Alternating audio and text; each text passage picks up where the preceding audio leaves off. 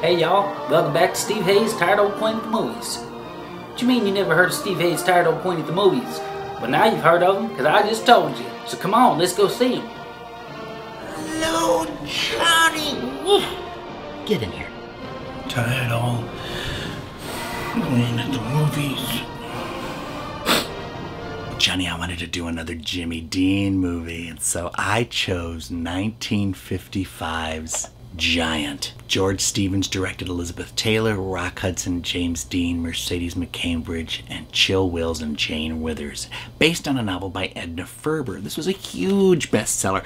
Edna Ferber wrote these books that were usually with one location and a story set around it. Saratoga Trunk took place in Saratoga, Ice Palace took place in Alaska, Cimarron took place in Cimarron, Showboat was on a showboat. Giant was her big tribute to Texas, and she it was a huge, huge bestseller. George Stevens had just come off making Shane and A Place in the Sun and took this picture on. And this was really the beginning of his phase of doing huge, huge pictures. He signed Elizabeth Taylor on because he really liked working with her. And she was becoming such a good actress. Now, don't you worry about me. I'm a tough Texian now. I think she gives one of the greatest performances of her career in this particular movie. She starts from a young girl who was raised in Maryland, who marries this cowboy played by Rock Hudson, who owns this huge cattle ranch in Texas in the 20s called Reata. And he takes her out there into the middle of nowhere where there's this huge, huge house. And they have a marriage that lasts maybe 40 years and it's the story of this marriage and raising their children together and the ins and outs. And it's also the story of the conversion of texas from cattle to oil. And what happened when all of a sudden they struck oil and everybody got rich. There's a farmhand on this ranch named Jett Rink and they cast James Dean. And he had been kind of coddled through his first movies. He had Elia Kazan needed him to be kind of vulnerable and, and quirky and strange in East of Eden, and he cultivated that. I gotta know who I am. I gotta know what I'm like. I gotta know. And then Nick Ray, who is sort of a bisexual kind of, you know, he wanted to be young with the kids in Rebel Without a Cause, did the same thing. Really mollycoddled him, really made him more eccentric and more quirky, and really urged him to have that quality. You, you say one thing, he says another, and everybody changes back again. That's a fine way to behave. Um, when he got on Giant, George Stevens was an old fashioned, no nonsense director. He had directed some of the most famous films in Hollywood, among them Gunga Din, I Remember Mama. He had directed some of the Astaire and Rogers movies. He was a consummate pro, and he was taking no nonsense. He expected you to show up, to have your lines learned, and to do your job. And Jimmy was erratic.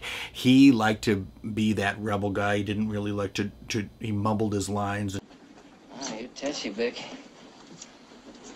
Tessie is an old cook.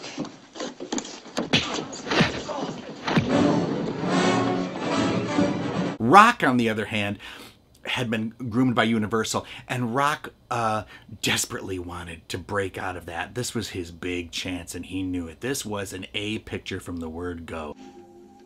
Now you're gonna throw that up to me. I thought what we. Thought what we said on the train was in confidence. And so Rock was on just on his best behavior. He knew that this was his big break. He had he gotten gotten married. He had a, an arranged marriage because he was gay. He really wanted to suppress that stuff. And then he gets on the set with Jimmy Dean, who's bisexual and acting up and acting out. And Liz was sort of the moderator between the two of them. She had had a lot of experience with Montgomery Clift, so she kind of knew how to handle guys, you know, gay guys and guys like this who were having troubles and stuff are an odd one, aren't you, Jeff? She would, uh, you know, fool around with Jimmy, and then she would, you know, support Rock. And Rock was always true to Liz right through the end. And you know, Liz, God bless her, came through for him. Uh, you know, when he got AIDS, she went to bat for us, and nobody did more for uh, to fight AIDS in the celebrity corner than Liz Taylor. Um, but she was also very close to Jimmy, and she saw that Jimmy was troubled and he was having a hard time. No, I, no, I wouldn't do that. They shot everything that they needed to get shot. Um, and they were looking at the rushes, and the phone call came, and Jimmy Dean was dead. And he had broken his neck in a car crash outside of Salinas. And Liz was completely destroyed. And she wasn't really done filming. She had to go back and continue filming. And when they went to show the final scenes Jimmy Dean at the convention center where he has to make a speech, he had mumbled through everything because he was supposed to be drunk, so he was following his method training, and he would mumble through everything, and they, the sound guy didn't get anything. So they brought in Nick Adams, who was a friend of his, who was also in Rebel Without a Cause with Jimmy Dean, and did this dead-on imitation of Jimmy Dean, and they brought him in, and he dubbed Jimmy's lines for that last scene in Giant. It came out. It was the big hit of the year. George Stevens won the Academy Award. Both Rock Hudson and James Dean were nominated for Oscars, but they canceled each other out, and Yul Brynner won, won for King and I. Mercedes McCambridge, who had won an Oscar for her very first movie, All, All the King's Men, and she plays Luz Benedict, the sister. I don't let anybody ride him around. I don't care if she's your wife or who she is. Bick, I'd see she rides a more gentle animal if I was you. And she's tough and no nonsense, and she got nominated for supporting actress. She's gonna fall off and break her neck. but it was James Dean. You remember those iconic photographs of him sitting in a car with his feet up and that Texas hat on, you know, and that big house in the background with all that expanse of Texas behind him. He was so charismatic and so sexy. The three of them are so beautiful in this movie, they will take your breath away. My welcome in, babe. Fine.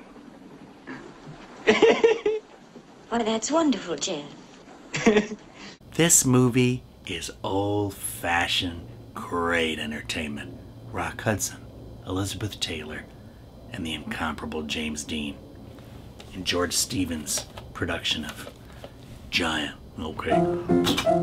Let's all go to the lobby. Let's all go to the lobby. Let's all go to the lobby. Jimmy Dean. Uh, Jimmy Dean pure pork sausage. Wrong Jimmy, sorry. Okay. Jimmy Dean. The popcorn can't be beat.